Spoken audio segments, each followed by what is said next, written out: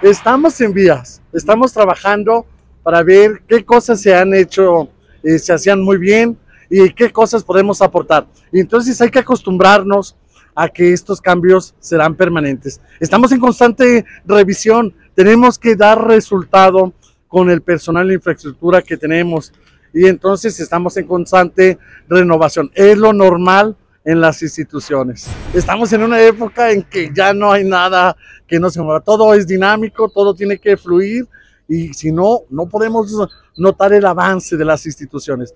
Y el Poder Judicial no es ajeno, está inmerso en toda esta dinámica de crecimiento y movimiento. La, las cuestiones familiares, las cuestiones familiares este, y en la materia penal el robo. Son, son, son eh, los casos que tenemos este, más, más presentados. Y parecería que están creciendo los conflictos, sin embargo, lo que ha pasado es que la gente ahora tiene más confianza en las instituciones y se está acercando a resolver, a resolver los conflictos. Eso es lo que ha venido pasando.